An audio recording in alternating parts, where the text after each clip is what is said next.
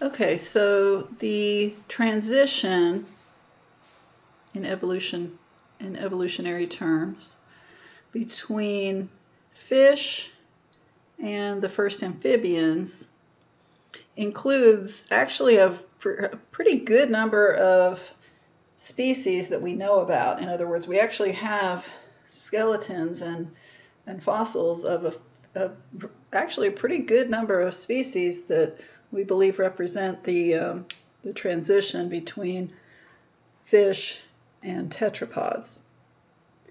And one of the species that was really a key discovery, um, and this this fossil was discovered by a guy named Neil Shubin.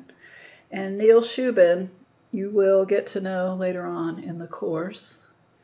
There will be uh, a little assigned activity coming up later on. But in any case, um, the fossil that they found that represents a really critical um, connection between the transition between fish and tetrapods is called Tiktaalik. And Tiktaalik, they, this is an artist rendition of what it might have looked like. It was more fish than tetrapod, and um,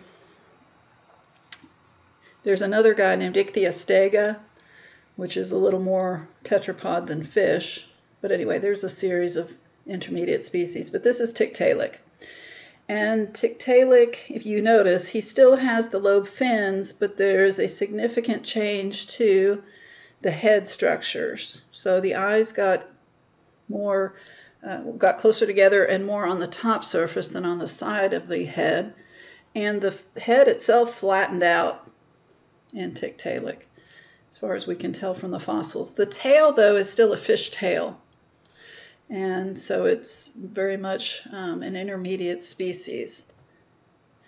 So I will have a little project where you're going to look into Tiktaalik and that discovery a little bit more later on.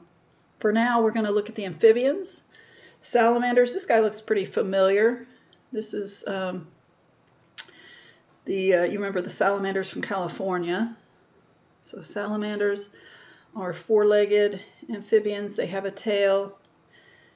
Frogs, frogs belong to a group called Anura, which means no tail. So they form a tail. They have the postanal tail as tadpoles, but then the tail disappears during metamorphosis into the adult. And then you have something called caecilians, which um, are legless. So it's it's really interesting how evolution moves from a fish that has no legs to a four-legged um, tetrapod, and then once the animals had four legs, one of the groups immediately, not immediately, but over millions of years, loses the legs again. So it's sometimes called a reversal although it's not really a reversal, it's just another change um, that happened. So the features that distinguish amphibians from their fish um, predecessors would be legs and lungs, cutaneous respiration. So amphibians can breathe quite a bit through their skin. Their skin stays moist. All respiratory surfaces need to have large amounts of surface area and they need to be moist. And the skin for the for a lot of the amphibians anyway works um, for that. They do have lungs though, but the lungs are not extremely developed. I don't mean developed; they're not extremely complex. They're more like a sac, and they don't have as much surface area as, say, reptile lungs or mammal lungs. The first appearance of pulmonary veins creates a second circuit and what we mean is the fish only have a single circuit of blood flow. It throw, excuse me, it flows through the heart, then goes over the gills to pick up oxygen, and then it goes to the rest of the body and then returns back to the heart. So a single circuit. For the amphibians, you see the a second circuit. So the blood goes to the heart, then out to the lungs, then back to the heart, and then out to the body. So there's two circuits, one circuit that goes from the lungs to the heart, excuse me, from the heart to the lungs to the heart, and one that goes from the heart to the body, back to the heart. So let me make a drawing. Nope.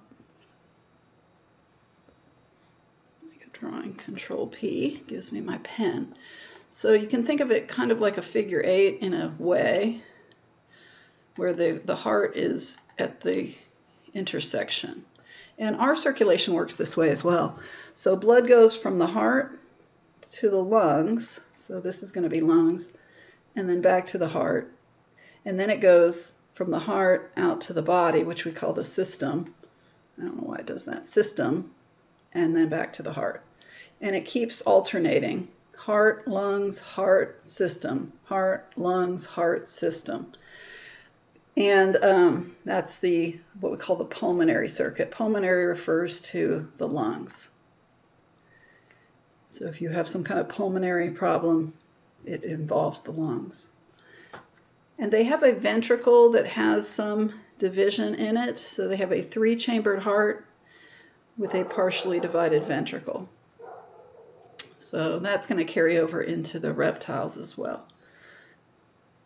You may be aware that when fertilized frog eggs hatch, they are tadpoles like a fish, and then that metamorphoses into the frog.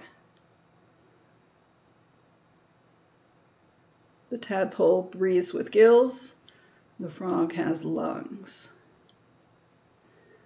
The, the, um, the lungs, though, come from a different structure than the gills. So gills just disappear, lungs uh, up here.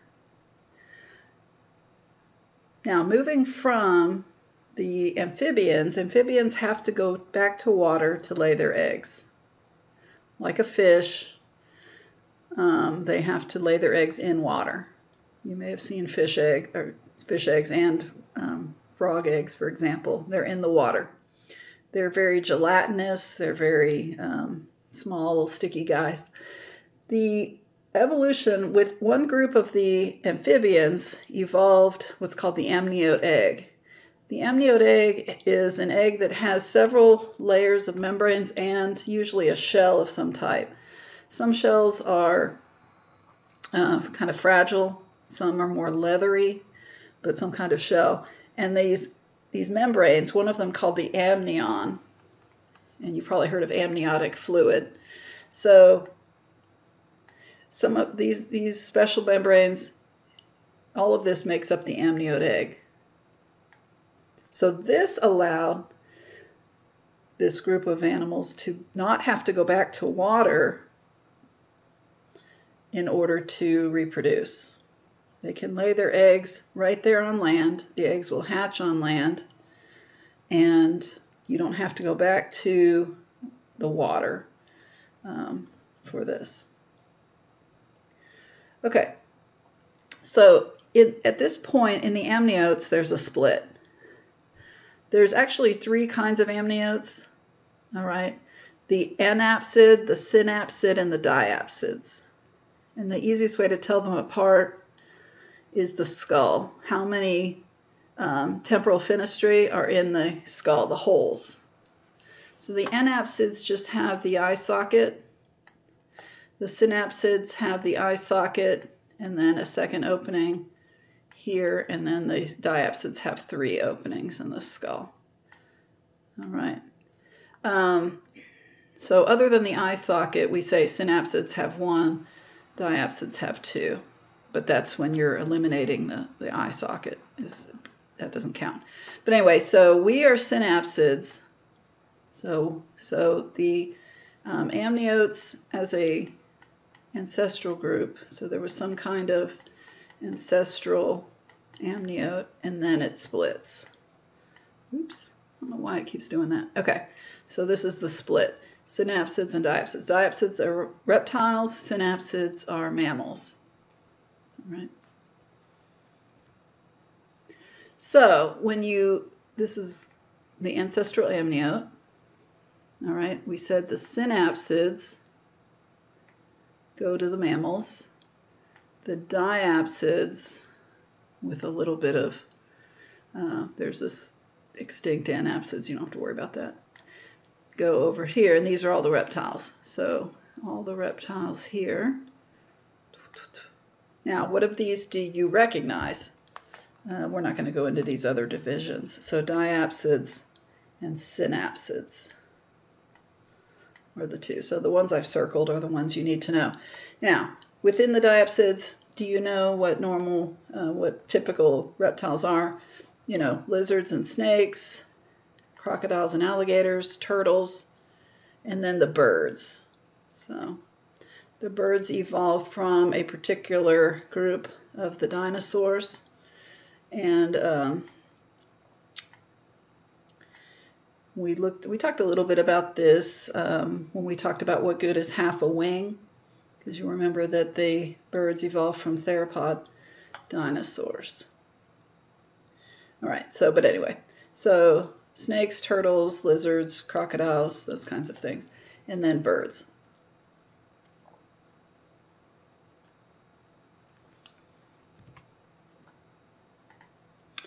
All right, so what are the characteristics of the reptiles?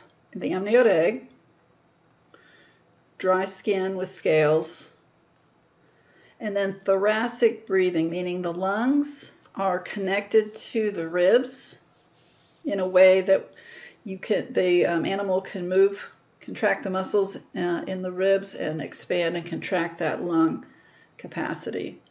All right, so that's different because frogs don't breathe that way. Frogs, when they do use their lungs, they actually swallow the air in their mouth and they force it down into the lungs. So they have to swallow the air. They fill up their mouth and they close their lips and then they force it back into the lungs. But the reptiles have the contraction of the chest muscles, which is a little bit different way of breathing, and that's more similar to the way we breathe, although mammals also have another trick for breathing, and it's called the diaphragm. Reptiles don't have a diaphragm. And most reptiles are ectothermic. They regulate their body temperature in the environment by where they are. They move into warmer or cooler places, and their body temperature matches that. Sometimes we call that cold-blooded, although it's that's a little misleading because reptile bodies could be warm as warm or warmer than your body if they're in the sun, but at other times they're cold. So they can be cold, they can be quite warm, um, but that's we're going to stick with the term ectothermic. Cold-blooded is a little bit of a, more of a slang. And so because of this, reptiles can't live in really cold regions like the Arctic. So in the Arctic, you're not going to see reptiles. Um, but otherwise, they're in um, pretty much every habitat in the Antarctic, so to speak. All right, so here's just some pictures. Turtle. The sulcata um, turtles, these guys are amazing. They're huge and they can knock over a brick wall. Um, they can they can really cause some destruction. I don't know how they in a zoo how they keep them enclosed, but crocodilians, so crocodile. And then the birds. So one of the um, transitional species between reptiles and birds is called Archaeopteryx. When you see this PTER, it means wings. So I don't know if you remember.